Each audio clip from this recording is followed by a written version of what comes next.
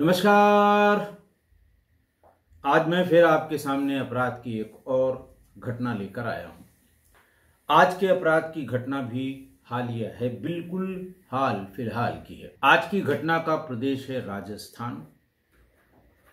राजस्थान का शहर जयपुर और जयपुर शहर का थाना रेनवाल। रेनवाल थाने पर 20 नवंबर 2024 को सुबह करीब साढ़े आठ बजे कुछ लोग पहुँचे और थानाध्यक्ष को बताया कि साहब, थाना क्षेत्र के अंतर्गत पड़ने वाले गाँव बेरमपुर में जो आदमी साथ में था, उसने कहा, साहब, मेरा चार साल का बेटा था दीक्षांत। वो अपनी माँ के साथ खाना खाकर रात में सोया था। सुबह साढ़े छः बजे जब उस बच्चे की, यानी दीक्षांत की दादी उसे दूध पिलाने के लिए उसके कमरे में गई तो माँ उसकी काम पर जा चुकी थी और दादी ने जब उसे दूध पिलाने के लिए उठाने की कोशिश की तो वो निढाल पड़ा हुआ था। शोर मचाया, मैं भी घर में था, भाग के गया, बच्चे को गोद में उठाया, भागकर हॉस्पिटल ले गया लेकिन हॉस्पिटल में डॉक्टर्स ने बच्चे को मृत घोषित कर दिया। वहाँ से लौटने के बाद मैंने अपनी पत्नी सीता, सरिता कुमारी से पूछा कि रात में ऐसा क्या हुआ था कि सवेरे ये बच्चा मृत मिला। उसने साफ़ मना कर दिया कि खाना खा के सोया था। मैं भी सो गई थी। मुझे नहीं पता कि क्या हुआ होगा। लेकिन मुकेश चौधरी ने थानाध्यक्ष को बताया कि मुझे हर हाल में अपनी पत्नी यानी उस मृतक बच्चे की माँ पर ही शक है। कुछ न कुछ ऐसा हुआ है जिसकी वजह से उस बच्चे की मृत्यु हुई है। पुलिस ने भी आ, उसकी हत्या का मामला दर्ज कर लिया और हत्या का मामला दर्ज करने के बाद उसने पूछताछ शुरू की। और सबसे पहले जो पूछताछ की गई तो वो उसकी पत्नी से ही पूछ की, पूछी गई पूछताछ की गई, जिसका नाम सरिता था। सरिता से पूछताछ करते समय पुलिस ने जब पूछा कि बच्चे को क्या हुआ था और उसे कौन सी दवा दी थी, इस तरह की बातें पूछते पूछते जब वो सवालों के जवाब नहीं दे पा रही थी या नहीं दे रही थी जानबूझकर, तब अचानक उसने कहा कि साहब, बच्चे को मैंने मार दिया। पुलिस भी ये सुन के हक्का बक्का रह गई। पति भी ये सुन के परेशान हो गया। लोगों ने पूछा कि आखिरकार तुमने बच्चे को क्यों मार दिया? तो उसने कहा कि मैं बच्चे को अपने साथ रखना चाहती थी या रखता, रखना चाहती हूँ। वो मेरे पास भी सोने को तैयार नहीं होता। वो अपने दादा, दादी के पास ही सोने को तैयार होता है। मैं भी हाल अपने पीहर गई थी मैं चाहती थी कि अपने बच्चे को अपने साथ अपने पीहर ले जाऊँ, लेकिन वो जाने को तैयार नहीं हुआ। उसका लगाव अपने दादा दादी और अपने पिता से ज़्यादा हो गया था। मैं इस बात को सहन नहीं कर पा रही थी। मुझे ये लगने लगा कि अगर ये मेरे साथ नहीं रहता, या मेरे साथ नहीं चलता, या मेरे साथ रहने को तैयार नहीं है तो मैं किसी के साथ इसे नहीं रहने दूँगी। और उस रात को भी यही हुआ। नौ बजे मैं उसे बड़ी मुश्किल से वीडियो मोबाइल पर वीडियो दिखाने के बहाने या दिखाकर मैं उसे उसकी दादी के पास से ले आई थी। वो किसी तरह आने को तैयार नहीं था और जैसे ही वो बिस्तर पर पहुँचा, मैंने उसका गला दबाकर मार दिया। पुलिस भी हक्की बक्की जैसे मैंने बताया और फिर शव को पंचायतनामा करके पोस्टमार्टम के लिए भेजा गया कि इसकी बात में कितना दम है, क्योंकि जाहिरा तौर पर शरीर पर उसके चोट के निशान नहीं थे बच्चे के। बहरहाल, शाम तक पोस्टमार्टम की रिपोर्ट आ गई और पोस्टमार्टम की रिपोर्ट में वही आया cause of death due to strangulation जगह जगह उसके उंगलियों के और हाथ के दबाव के निशान उसके गर्दन पर, यानी नीलगु निशान उसके गर्दन पर पाए गए। तो ये बात तय हो गई कि माँ ने ही उस बच्ची को, उस बच्चे को मारा था। बहुत रिमोट में ये गाँव था बीरमपुर। मुड़ियागढ़ जीएसएस के सामने से कच्चा रास्ता बीरमपुर के लिए जाता है और जब पुलिस वहाँ पर पहुँची और उसने बाहर ही पूछा कि वो कौन सी जगह है वो मुकेश का घर कौन सा है तो गाँव वालों ने यही पूछा कि वही घर ना जिसने बच्चे को उसकी माँ ने मार दिया है। गाँव वालों में बड़ा रोष था। गाँव वाले पुलिस से भी यही कह रहे थे कि इसने, इस लड़की ने, इस महिला ने गाँव का नाम बदनाम किया है। इसे कड़ी से कड़ी सजा मिलनी चाहिए। इसने अपने ही बेटे को मार दिया। गाँव वालों से डिटेल पूछने पर पता लगा कि गाँव का रहने वाला मुकेश चौधरी, जिसकी उम्र करीब 35 साल है, उसकी शादी 2019 में वाराणसी की रहने वाली सरिता कुमारी के साथ हुई थी। लड़की के परिवार को एक लाख रुपए देकर कोर्ट मैरिज की गई थी और दीक्षांत का जन्म फरवरी 2020 में हुआ था। मुकेश ने बताया कि शादी के तीन साल तक तो सरिता का व्यवहार, परिवार और उसके प्रति बहुत अच्छा था, लेकिन पिछले एक साल से वो आए दिन घर पर झगड़ा करती थी। वो बार बार अपने घर बनारस जाने की जिद करती थी। मुकेश ने आगे बताया कि पिछले तीन सालों में वो साल में एक आध बार कभी अपने पीहर बनारस जाती थी। लेकिन इस साल यानी बीते साल, वो एक साल में चार बार बनारस गई और हर बार वो एक महीने से ज़्यादा अपने घर पर रही थी। अभी 9 नवंबर को सरिता के पिता नंदलाल उसे लेने आए थे। उस समय पूरा दिन सरिता ने दीक्षांत को अपने साथ पीहर ले जाने के लिए बहुत कोशिश की, लेकिन वो किसी कीमत पर अपनी माँ के साथ जाने को राज़ी नहीं हुआ। वो अपनी बाबा और दादी से चिपका रहा, रोता रहा कि मैं इनको छोड़कर नहीं जाऊँगा। और फिर नौ तारीख की गई हुई वो सत्रह तारीख को वापस आई। लेकिन आते ही उसका व्यवहार एकदम बदल गया। उसने घर का कोई काम नहीं किया। अपनी सास मोहिनी से, मोहिनी देवी से बात तक नहीं की। अपने ससुर से बात नहीं की और पति से सिर्फ़ उसके पूछी गई बातों का जवाब दिया। अपनी तरफ़ से कोई बात उसने नहीं की। घर वाले ये भी बताते हैं कि 18 नवंबर को मुकेश चौधरी के परिवार में ही एक पारिवारिक सदस्य के यहाँ शादी थी और भात भरने का कार्यक्रम था। उस कार्यक्रम में जाने के जाने से भी सरिता ने मना कर दिया था। पूरा परिवार भात के क्रम कार्यक्रम में गया था।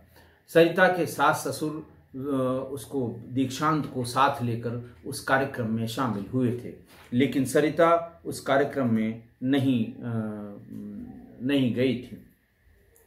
मुकेश बताते हैं कि दीक्षांत दादा दादी से उसका बहुत लगाव था। वो दिन भर उन्हीं के पास रहता था।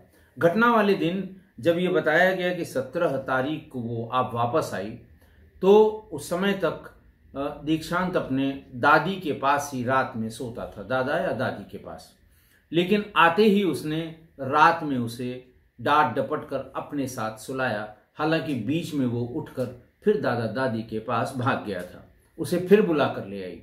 तो सत्रह अट्ठारह और उन्नीस वो तीनों दिन उसने कोशिश की कि वो बच्चे को अपने साथ ही, ही सुलाए। उसे दादा दादी के पास जाने पर उसे सख्त एतराज़ होने लगा था। दिन भर की बात बताते हुए मुकेश ने बताया कि वो मंडा गाँव में एक फैक्ट्री में काम करता है। मंगलवार यानी 19 नवंबर की सुबह वो अपनी ड्यूटी पर गया था। उस दिन शाम को साढ़े सात बजे तक दीक्षांत अपने दादा दादी के साथ ही खेल रहा था। करीब साढ़े सात बजे सरिता दीक्षांत को लेने के लिए दादी के पास गई, लेकिन दीक्षांत ने मना कर दिया। दादी बताती हैं कि उसके मना करने पर वो बहुत झुंझलाई भी और चिल्लाई भी, लेकिन उसको फिर मोबाइल में एक वीडियो गेम दिखाया और फिर उसी लालच में दीक्षांत उसके पीछे पीछे अपनी माँ के साथ चला गया। मकान के अंदर की तरफ़ अलग से एक कमरा बना हुआ है, जिसमें दीक्षांत अपने माँ बाप के साथ रहता था। सरिता बच्चे को लेकर कमरे में आई और दरवाज़ा बंद कर लिया। आमतौर पर दीक्षांत मैंने बताया अपने दादा दादी के साथ रह रहा था, लेकिन पिछले तीन दिनों से जिद करके कोई न कोई बहाना बनाकर सरिता उसे अपने पास, अपने साथ लेकर सोती थी। मुकेश ने बताया कि कोई रात दस बजे वो फैक्ट्री से घर लौटा। खाना खाकर कमरे में पहुँचा तो दीक्षांत उसे सोता हुआ नज़र आया। उसको एक चद्दर उड़ा रखी थी सरिता ने। सरिता से पूछा गया कि दीक्षांत सो गया? तो इतनी जल्दी आज कैसे सो गया? सरिता ने जवाब दिया कि उसने जल्दी खाना खा लिया था, जल्दी नींद आ गई। फिर उसने बताया कि एक रात करीब नौ बजे ही ऐसा लगता है कि सरिता ने उसकी, उसका गला घोंट कर मार डाला था क्योंकि ये बात बाद में पोस्टमार्टम रिपोर्ट से भी कंफर्म हुई। लेकिन जब उसने पूछा, खाना खाया, दस, साढ़े दस बजे सोया, उस समय सरिता भी उस बच्चे के साथ ही सोती रही। पूरी रात वो उसे अपने मृत बच्चे के साथ ही सोई और इस बात की भनक बिल्कुल भी मुकेश को नहीं लग पाई कि उसके बच्चे की मौत हो चुकी हो चुकी है।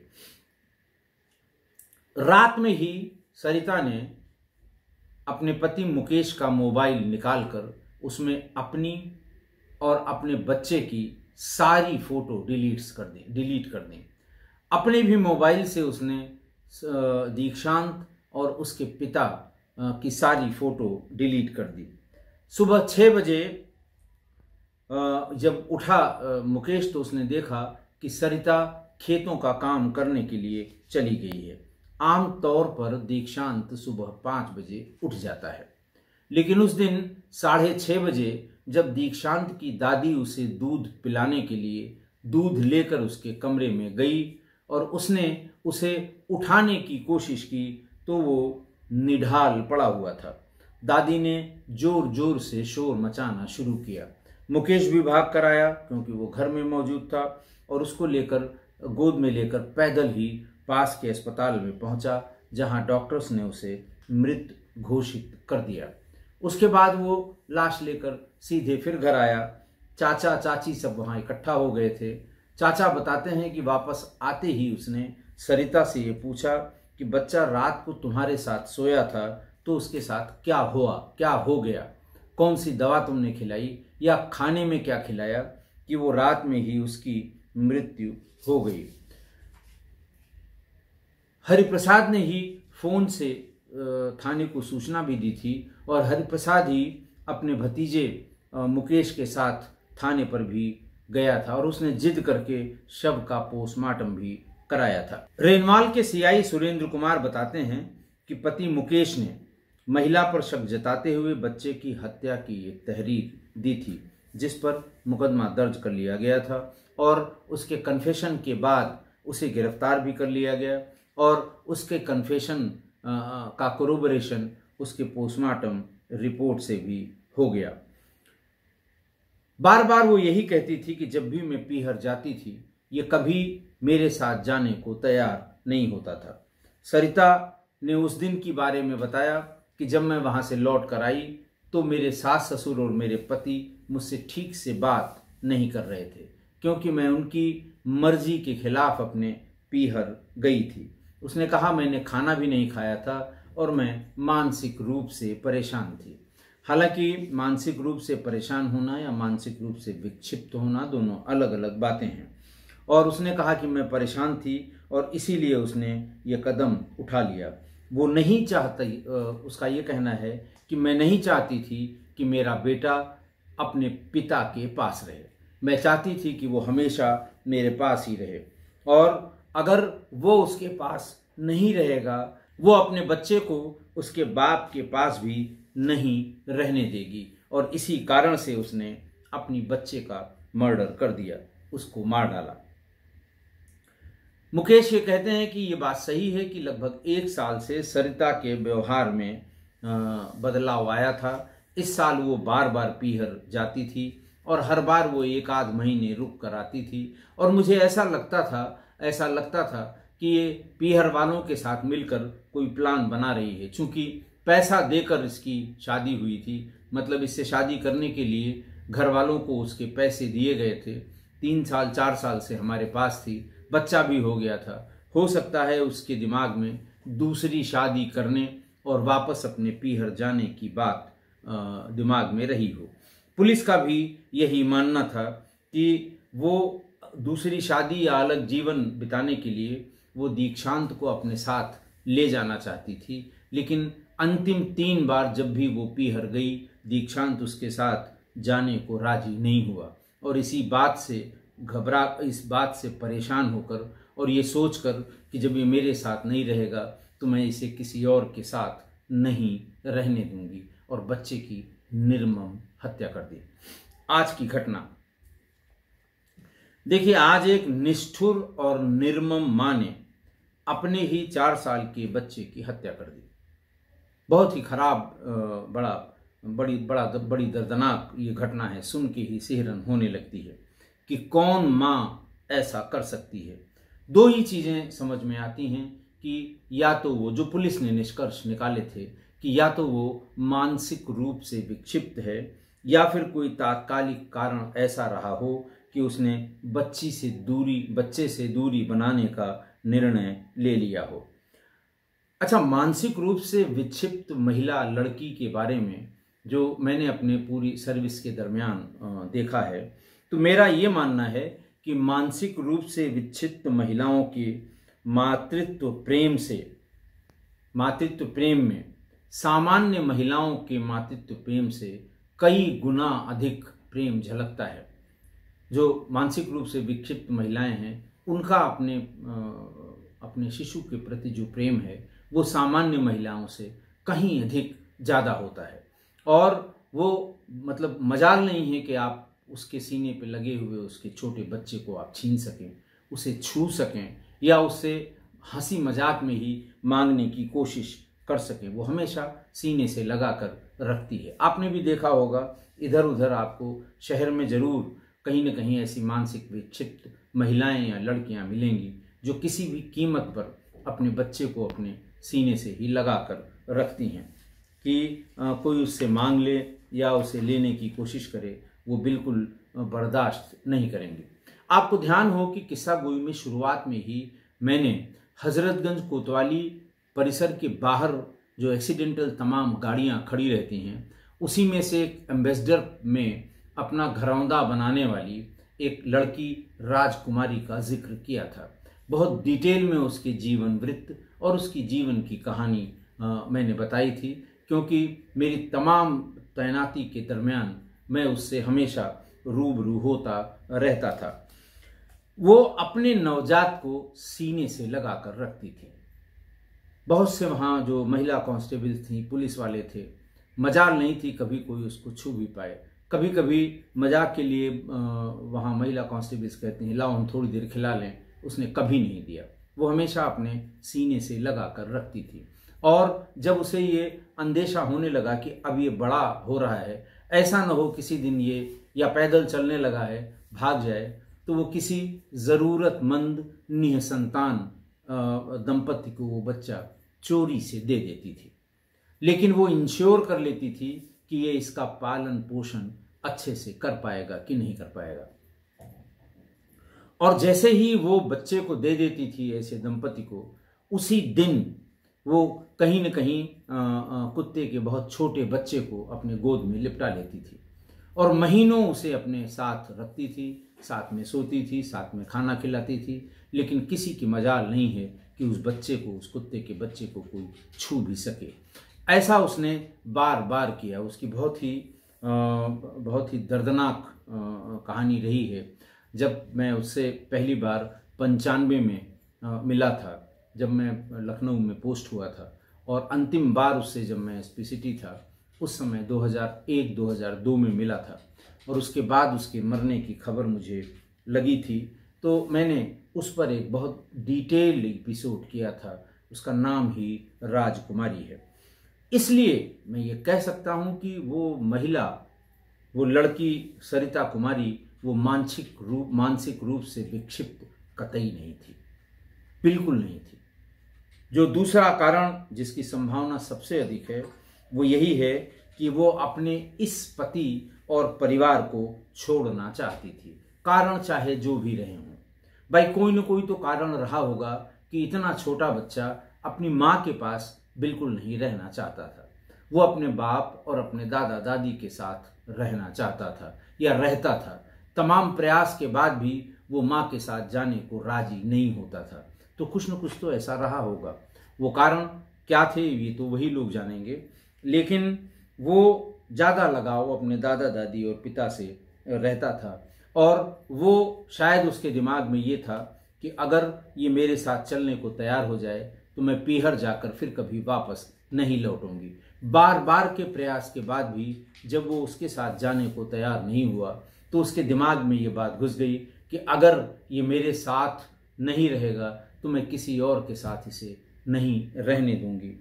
और फिर उसने उसे बड़ी ही निर्ममता से मार दिया। माँ इतनी निर्मम हो सकती, बड़ा रेयर है वैसे ये। बहुत रेयर है कि माँ इतनी निर्मम हो कि वो अपने छोटे बच्चे को, चार साल के बच्चे को उसे जान से मार दे। और शायद इसीलिए ज़माने से ये कहा गया है, श्री देवष्टकम में जो लाइनें हैं, बहुत ही प्रसिद्ध लाइनें हैं, बहुत बार मैं कोट कर चुका हूँ कि कुपुत्रो जायेत क्वचिदपि। कुमाता न भवती। यानी पुत्र तो कुपुत्र हो सकता है, लेकिन माता कभी कुमाता नहीं हो सकती, जैसी आज हुई है। आज ये कुमाता थी, इसलिए मैं इसे रेयर कहता हूँ। बहुत कम देखने को ऐसा मिलता है। बहुत ज़माने से ऋषि मुनियों के ज़माने से ये कहा जाता रहा है कि कभी माँ जो है वो कुमाता नहीं होती। पूत तो कपूत हो सकता है, माँ कुमाता नहीं हो सकती। आशा है आप मेरी इस बात से सहमत होंगे। आज के लिए इतना ही। बहुत बहुत धन्यवाद।